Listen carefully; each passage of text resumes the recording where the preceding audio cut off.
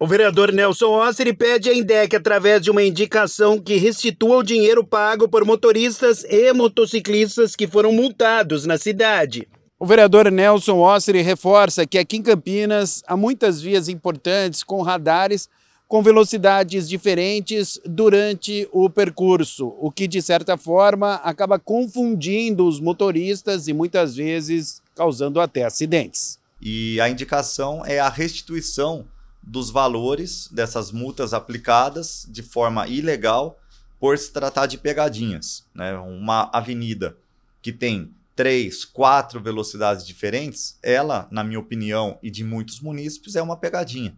Você está tirando dinheiro da população e trazendo também insegurança para a população. Porque um motorista que olha mais para o velocímetro do que para o para-brisa, ele coloca em risco não só a vida dele, como também do pedestre.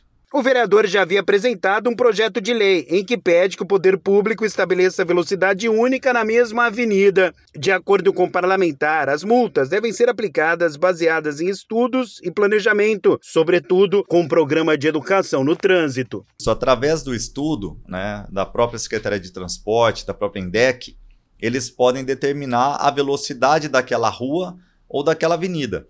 Então podemos ter, por exemplo, uma rua com uma velocidade é, avaliada em 60 km por hora. Essa rua vai ter que ser inteira 60 km por hora. Uma avenida é, que eles estabeleçam, através do estudo, uma velocidade de 70 por hora, que seja a avenida inteira 70 por hora e nunca e jamais com duas, três, quatro velocidades, como já foram encontradas em Campinas.